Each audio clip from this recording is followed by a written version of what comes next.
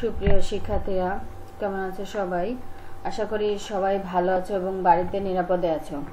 আজকে তোমাদের অনলাইন ক্লাসে স্বাগতম। প্রথমে দেখো, শিক্ষক পরিচিতি। আমি সম্পারানী পাল সহকারী প্রভাষক, রাষ্ট্রবিজ্ঞান, Majid Joina foundation school and college Shariatpur. এখন দেখো আজকের পাঠ পরিচিতি। আজকের পাঠ পরিচিতিতে শ্রেণি ষষ্ঠ বিষয় হিন্দু ধর্ম ও নৈতিক শিক্ষা এবং অধ্যায় হচ্ছেন চতুর্থ। আজকে তোমাদের চতুর্থ অধ্যায়ের পাঠ পাঁচ থেকে আট পর্যন্ত দেখাবো। গত ক্লাসে আমি তোমাদেরকে পার্ট এক থেকে চার পর্যন্ত দেখিয়েছিলাম। আজকে তোমরা পাঠ পাঁচ থেকে আট পর্যন্ত দেখবে এবং আজকের লেকচার নাম্বার হচ্ছেন সাত। তাহলে ক্লাসটি শুরু করছি দেখো পাঠ পাঁচে রয়েছে সবাসনের ধারণা ও অনুশীলন পদ্ধতি। শব শব্দের অর্থ মৃতদেহ। শব শব্দের অর্থ কি? মৃতদেহ। তোমাদের গত ক্লাসে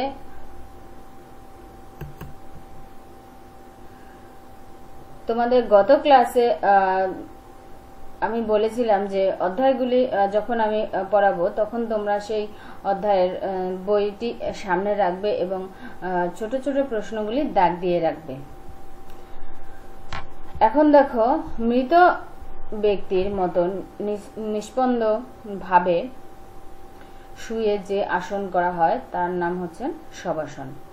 মৃত ব্যক্তির যেমন তার দেহের অঙ্গ প্রত্যঙ্গের উপর কোনো কর্তৃত্ব থাকে না, তেমনি শবাসন অবস্থায় আসনকারীর দেহের কোনো অংশে তার কোনো কর্তৃত্ব থাকবে না। অর্থাৎ মৃত ব্যক্তি যখন তার দেহের উপরে তার কোনো ধরনের ই থাকবে না তেমনিভাবে দেহে কোনো প্রাণ থাকবে না, তেমনি ভাবেই এই সবাসন আসনটি অনুশীলন করতে হবে। সবাসনের লক্ষ্য মৃতদেহের মতো নিশ্চল, নিঃসার হয়ে শুয়ে থাকা, কিন্তু চেতনা হারানো নয়। অর্থাৎ যখন মানুষ শুয়ে থাকে সবাসনের মূল লক্ষ্যটা থাকবে মৃতদেহের মতো নিশ্চল, নিঃসার থাকবে। সেখানে কোনো তার এই থাকবে না। তার দেহে কোনো ধরনের কোনো নড়াচড়া হবে না, তার কোনো বোধ থাকবে না। কিন্তু চেতনা হারানো যাবে না। তাকে জ্ঞান রাখতে হবে। অনুশীলন পদ্ধতি দেখো, কীভাবে করবে। মাটিতে চিত হয়ে শুয়ে পা দুটি লম্বা করে দিতে হবে। পা দুটোর মধ্যে প্রায় এক ফুটের মতো ফাঁকা থাকবে। দুই পায়ের মাঝখানে এক ফুটের মতো ফাঁকা রাখবে এবং হাত দুটোকেও লম্বালম্বিভাবে শরীরের দুপাশে উরু থেকে একটু দূরে রাখতে হবে। হাতের পাতা উপরের দিকে খোলা থাকবে। চোখ বন্ধ, ঘাড় সোজা, গোটা শরীর শিথিল অবস্থায় থাকবে। কোনো শরীরে কোনো ধরনের শক্তি থাকবে না, একদম শিথিলভাবে পড়ে থাকবে। এবার ধীরে ধীরে চার পাঁচবার লম্বা শ্বাস গ্রহণ ও ত্যাগ করতে হবে। বড় বড় শ্বাস নিবে এবং শ্বাস ত্যাগ করবে। দৈনিক যোগাভ্যাসে কঠিন আসন করার পর বিশ্রামের জন্য এই আসন পাঁচ থেকে দশ মিনিট পর্যন্ত করা উচিত। দৈনন্দিন যে যোগাভ্যাস করা হয় এই যোগাভ্যাসের করার পরে এই আসনটি অনুশীলন করতে হবে এবং পাঁচ থেকে দশ মিনিট পর্যন্ত করা উচিত। এছাড়া আলাদাভাবে অন্তত পনেরো মিনিট সবাসন করা প্রয়োজন। এখন দেখো পাঠ ছয় সবাসনের গুরুত্ব ও প্রভাব। শরীর শিথিলকরণ বা বিশ্রামের জন্য সবাসন যোগ সাধনার একটি উপযুক্ত আসন। এতে সম্পূর্ণ শরীরে সুস্থ বোধ হয়। স্নায়ুমণ্ডলী ও শিরা উপশিরাগুলো সম্পূর্ণ বিশ্রাম পায়। শরীর ও মনের সমস্ত ক্লান্তি দূর হয়ে যায়। ফলে শরীর, মন, মস্তিষ্ক এবং আত্মা পূর্ণ বিশ্রাম, শক্তি, উৎসাহ ও আনন্দ লাভ করে। দেখো, মানসিক টেনশন বেশি বা কম রক্তচাপ, হৃদরোগ পেটে গ্যাস, ডায়াবেটিস প্রভৃতি রোগ উপশমের ক্ষেত্রে সবাসন উল্লেখযোগ্য ভূমিকা রাখে। আধুনিক যন্ত্র সভ্যতার পীড়নে মানুষের স্নায়ুর উপর প্রচণ্ড চাপ পড়ে। সেই চাপের সর্বোত্তম প্রতিষেধক হচ্ছে শবাসন অনিদ্রার জন্য এই আসন সর্বোত্তম। অর্থাৎ যাদের চোখে ঘুম কম, তাদের জন্য এই আসনটি সর্বোত্তম। রাতে ঘুমাতে যাওয়ার পূর্বে পাঁচ থেকে সাত মিনিট বা তার বেশি এই আসন করে আস্তে আস্তে বিছানায় গিয়ে শুয়ে পড়লে কিছুক্ষণের মধ্যেই ঘুম আসে। শরীর শিথিল করে দিয়ে বিশ্রাম করার এই কৌশল আয়ত্ত করলে ঘুমকেও জয় করা যায়। ছাত্রছাত্রীদের পরীক্ষার সময় আসনটি মানসিক চাপ কমাতে খুবই সহায়তা করে। অত্যাধিক পড়াশোনার পরে এই আসনে কিছুক্ষণ বিশ্রাম নিলে অবসাদ ক্লান্তি দূর হয়। নতুন উদ্যম ফিরে আসে। স্মৃতিশক্তিও বৃদ্ধি পায়। সাধকেরা এই আসনের সাহায্যে যোগনিদ্রা আয়ত্ত করে উচ্চ স্তরের অনুভূতির রাজ্যে প্রবেশ করতে পারেন। এই আসনে ধ্যানের স্থিতির বিকাশ হয়। যে কোনো আসন অনুশীলনের পরে সবাসনে বিশ্রাম নিতে হয়। আমরা যতক্ষণ একটি আসনের ভঙ্গিমায় থাকি, তখন যতটা উক্ত আসনের উপকারিতা লাভ করি, তার চেয়ে অনেক বেশি উপকৃত হই আসন অভ্যাসের পর সবাসন করে। অর্থাৎ আমরা যখন যে কোনো ধরনের আসন করার পরে আমাদের সবাসনে বিশ্রাম নিতে হয়। আর যদি আমরা সবাসনে বিশ্রাম নেই, তাহলে আমাদের সেই আসনের চেয়ে আরও বেশি উপকৃত হতে পারব। এখন দেখো, পাঠ পাঁচ। পাঠ পাঁচে রয়েছে সিদ্ধাসনের ধারণা ও অনুশীলন পদ্ধতি। সাধনায় সিদ্ধ যোগীদের মধ্যে বিশেষভাবে অনুসৃত হওয়ার ফলে এই আসন আসনের নাম হয় সিদ্ধাসন। এই আসনটি সিদ্ধ যোগীগণ প্রায়ই করতেন বা করেন।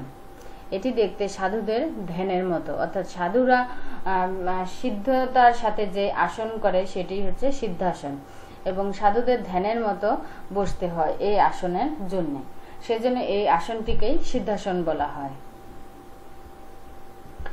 আচ্ছা দেখো, সিদ্ধাসনের অনুশীলন পদ্ধতি। কীভাবে এই আসনটি অনুশীলন করা যায়? সামনের দিকে পা ছড়িয়ে শির দ্বারা বা মেরুদণ্ড সোজা করে বসতে হবে। আচ্ছা দেখো, সামনের দিকে পা ছড়িয়ে শির দ্বারা বা মেরুদণ্ড সোজা করে বসতে হবে। এবার ডান পা হাঁটু থেকে গোড়ালি দু পায়ের সংযোগ স্থলে স্পর্শ করে রাখতে হবে। তারপর বা পা হাঁটু ভেঙে ডান পায়ের উপর রাখতে হবে। দু পায়ের গোড়ালি তলপেটের নিচে লেগে থাকবে। এবার হাত দুটো সামনের দিকে ছড়িয়ে দিতে হবে। হাতের তালু উপর দিকে করে ডান হাতের কবজি ডান হাঁটুর উপর আর বা হাতের কবজি বা হাঁটুর উপর রাখতে হবে। দু হাতের বুড়ো আঙ্গুল আর তর্জনী ছোঁয়াতে হবে। অন্য আঙ্গুলগুলো সোজা থাকবে। তারপর পিঠ, ঘাড় আর মাথা সোজা রেখে চোখ বন্ধ করে দুই ভ্রুর মাঝে মনকে একাগ্র করার চেষ্টা করতে হবে। শ্বাস প্রশ্বাস স্বাভাবিক থাকবে। অর্থাৎ যখন তুমি এই আসনটি অনুশীলন করবে, তখন শ্বাস প্রশ্বাস কিন্তু স্বাভাবিকভাবে চলাচল করবে। পা বদল করে আসনটি পাঁচ মিনিট করতে হবে। এক পা থেকে আরেক পায়ে বদল করে এই আসনটি পাঁচ মিনিট করতে হবে। শেষে সব আসনে বিশ্রাম নিতে হবে। সব আসনের ক্ষেত্রে দেখতে পাবে যে তোমরা সব আসনে কিন্তু বিশ্রাম নিতে হবে। এরপরে দেখো, পাঠ আট। সিদ্ধাসনের গুরুত্ব ও প্রভাব। সিদ্ধাসনে শরীরে বিশ্রাম হয়। সিদ্ধাসন করলে শরীরের বিশ্রাম হয়।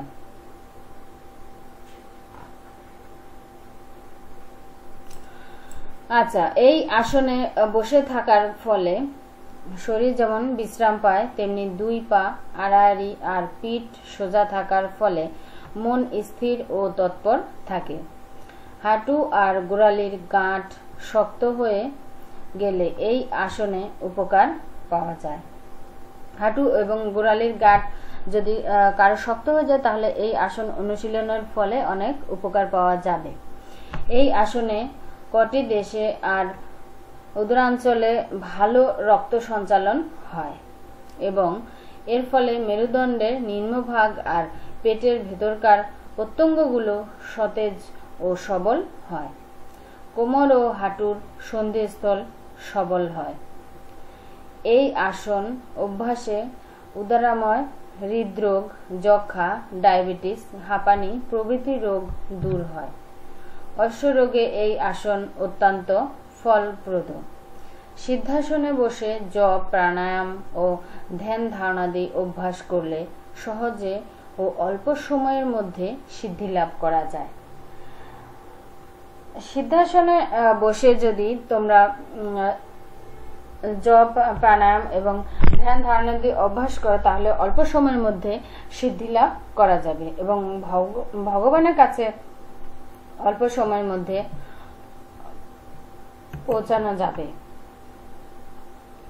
আচ্ছা তাহলে সুপ্রিয় শিক্ষার্থীরা, তোমরা আজকে এই পাঠ চারটি দেখলে, আশা করছি এই পাঠগুলো থেকে তোমরা বইতে ছোট ছোট প্রশ্নগুলি দাগ দিয়ে রেখেছো এবং বাড়িতে বসে খাতায় সুন্দরভাবে লিখবে। ধন্যবাদ সবাইকে।